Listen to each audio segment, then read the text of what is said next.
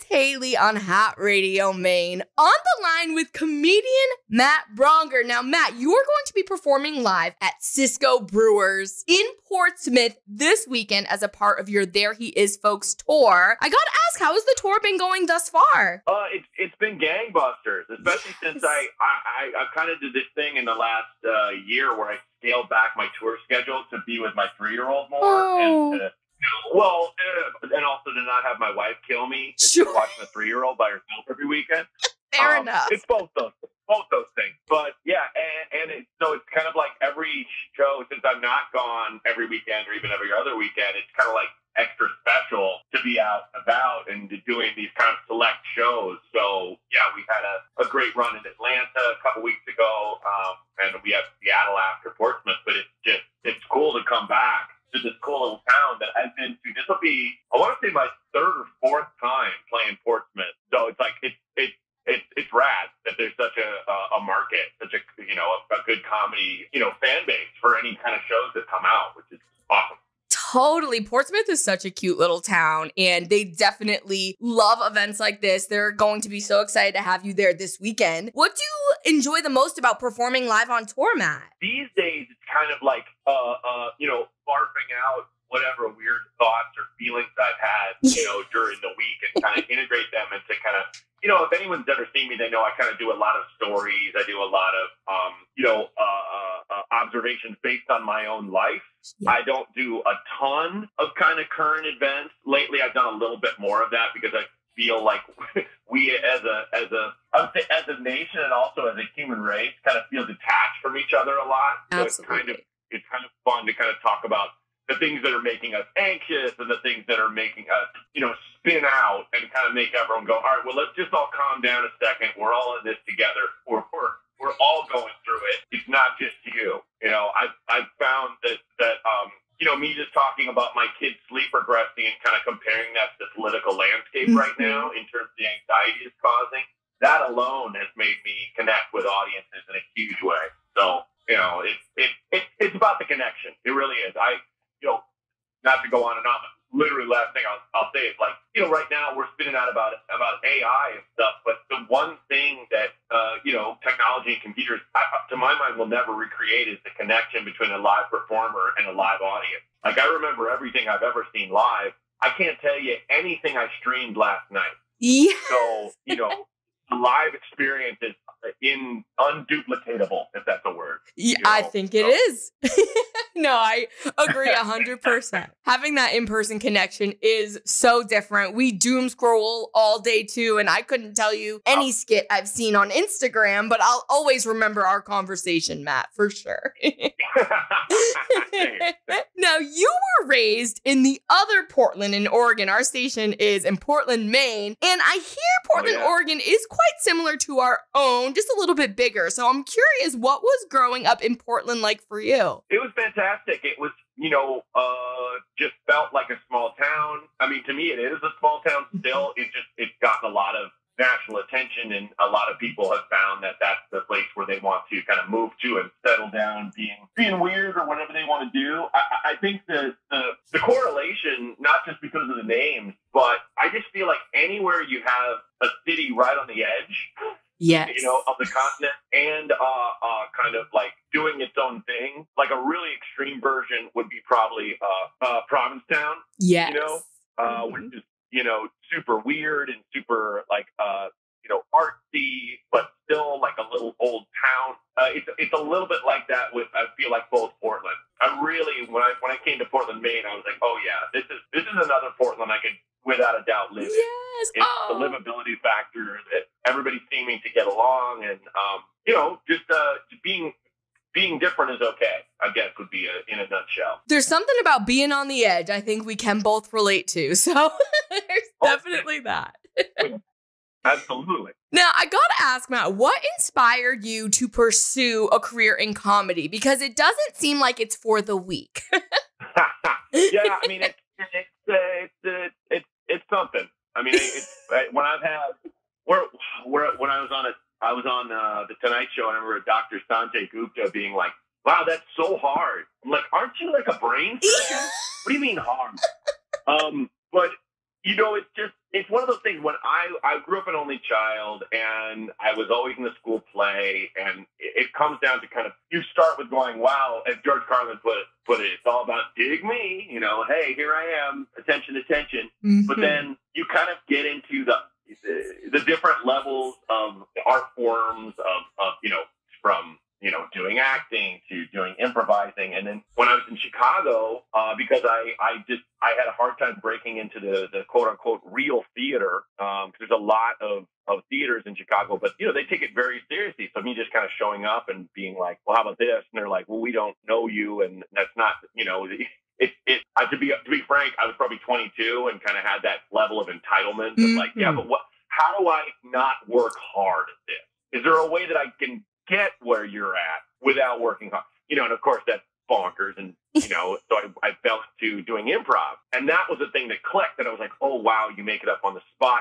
But if you, you know, be too selfish on stage, you you ruin everything and you make it bad for your your uh, your your troop mate. And I was like, oh, okay, and that really helped me with teamwork. And then I started doing uh, open mic, doing stand up, and I fell in with these other people who were all doing wildly different things. You know, we had an open mic uh, in Chicago called the Lions Den that uh, everybody kind of came out of. You know, I started out with um, Kyle Kinane and Pete Holmes and Kumail Nanjiani and uh, T.J. Miller and Hannibal Buress and um, John Roy and all these other people that are now basically household names. And it's all because we had that open mic. We were always trying to say something different than each other. Whereas I feel like a lot of stand-up scenes, because there was a lot of competition and there was, uh, uh, you know, people were were, were uh, paying attention, I guess, for want of another term, to those scenes. They were going for the brass ring. We were just trying to get better. We didn't really see it. It wasn't until I'd done it maybe three, four years in Chicago till I went, oh, maybe I could move to New York. Maybe I could move to LA and see if I can do this as a career. And I eventually did after about six years. I moved to LA and, you know, it took a couple years after that to make a living at it. But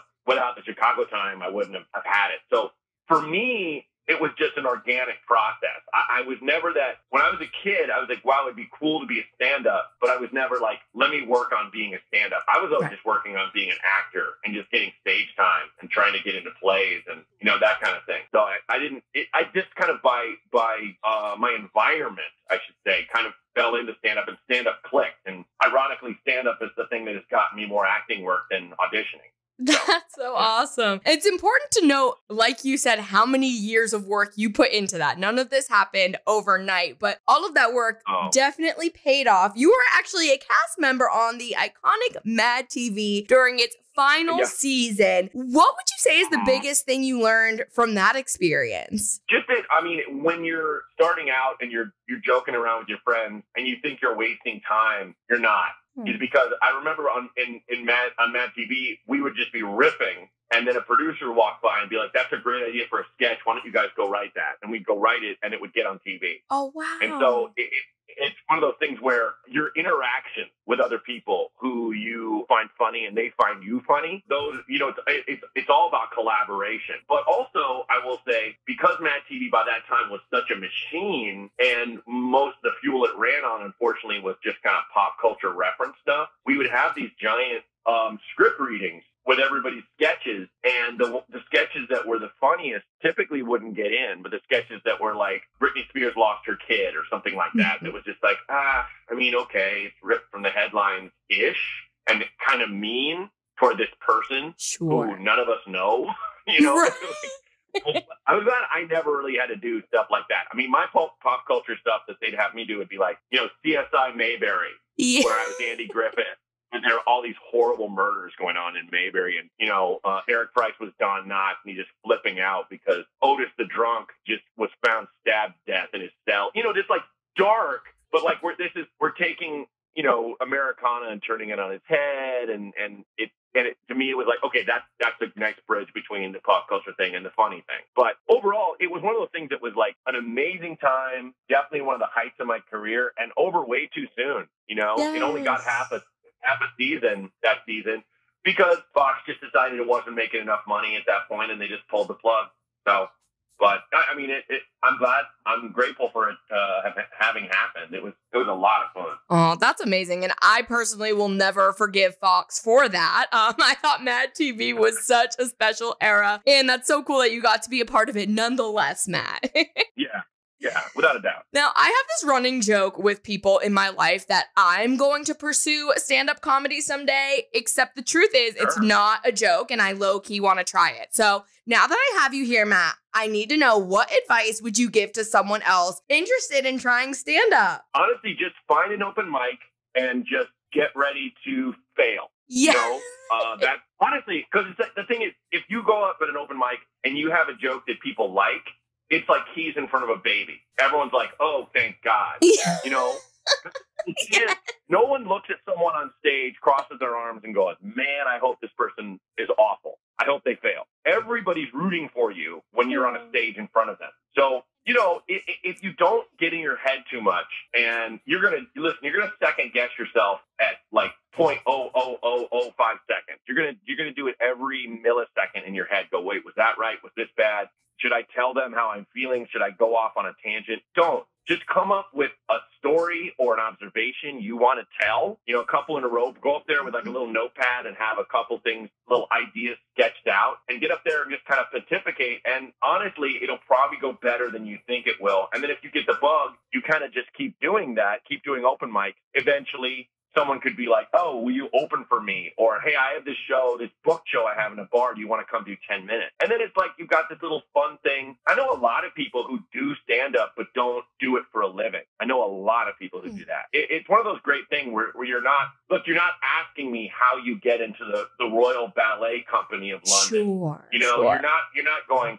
How do I become a successful teen model? These are just tomfoolery. This is just joke. Everyone tells jokes here and there, and honestly, it can be one of the most cathartic things ever. You know, if someone you know can just get up there and and let their whatever their expression out is. You know, that's why coffee shops and weird little bars that have open mics are kind of like these little angel centers in a sense yes. for people to kind of let that out because we tend to think, wait, if you're not making a living at it, then what's the point? And it's mm-hmm. like, well, that's insane. What about being happy? What about letting yourself kind of kind of bloom in front of others, for want of another term? Oh, that is all such great advice, Matt. And I think one of the aspects of stand up that scares me the most is the idea of hecklers.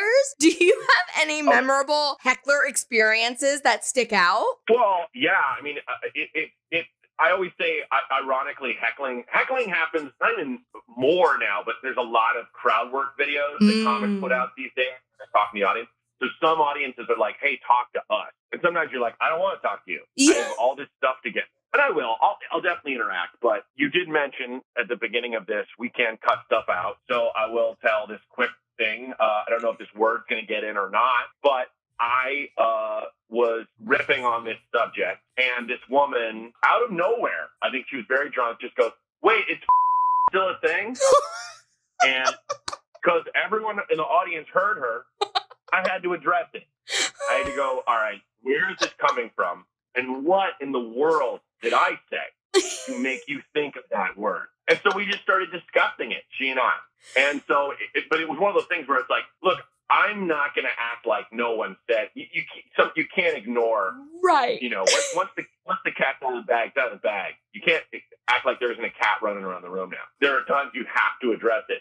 Typically, though, in, in terms of what you're afraid of, it doesn't exist. There aren't that many people that are that much of jerks to like yell out, "You suck" or whatever. What you know, you'll hear them talk to each other if they don't like you sometimes, and if you feel like people can hear them talking, sure, call it out. But in terms of what you're afraid of, nah, it doesn't really happen. Not much. That is great to hear. And it really warms my heart to, to, hear you say that almost everyone in the audience is rooting for you and wants you to do well. I think that information alone is very helpful. Yeah, because they're they're rooting for their own good time. Right. You know, no one no one has a fun time watching a comedian bomb. It's horrible. Yeah, it's you know? awkward for everyone involved. Everyone feels terrible. Them, the audience, the bartender, yeah. everyone.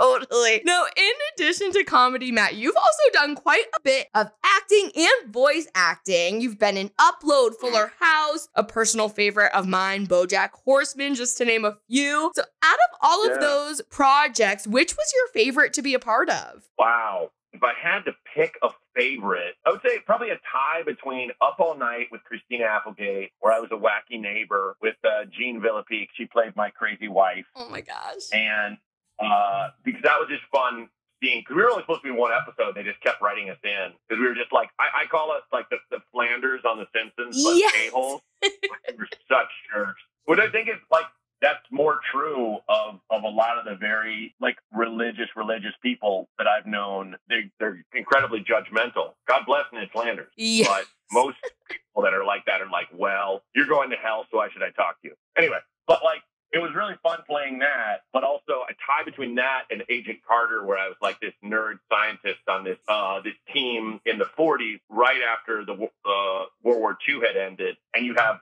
superheroes and superpowers kind of coming on the scene and us kind of just scrambling and being this kind of you know gang of misfits. We had a woman uh, as a leader and a guy who was basically for want of another term a cripple he had a bum leg which in those days you would be looked at as a pariah. There was a black guy on the team. There was me who was this kind of insanely antisocial nerd and it was just these people who, you know, bottom line, you wouldn't invite to like a very fancy dinner party in the 40s Sure. but we were out there kind of like the front line against this new danger. And so it's like I, I didn't get to do and I haven't gotten to do a lot of dramas and a lot of serious stuff. And it was also like a funny show in a lot of places. But it was just fun to uh, it was really fun to play in that world. You know, like I, I joked with Kumail that like, hey, I was in the Marvel universe first before you were.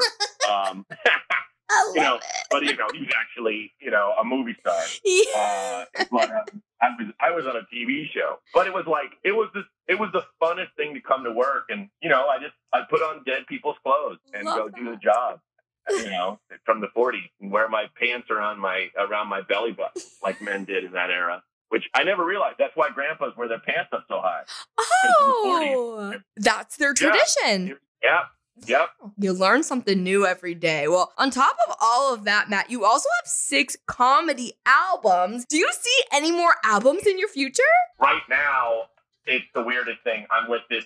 There, there's this. There's a couple lawsuits that are up in the air trying to get uh, comedians their publishing rights. Mhm. Uh, and so that's getting sorted out. So for me to just go, here, let me just drop an album without any of that getting started out, I wouldn't make any money. So sure. it's like as much as I want to, and like honestly, any back before streaming hit and you didn't even have to, where people were like, my first two albums got bootlegged a lot. I was like, fine, as long as people are listening to them, I Right. don't care. Take them. Yes, totally. Well, that completely makes sense. I hope that we do get to have an album from you again someday and that you make all sorts of money off of it. That's the goal. Thank you. Thank you.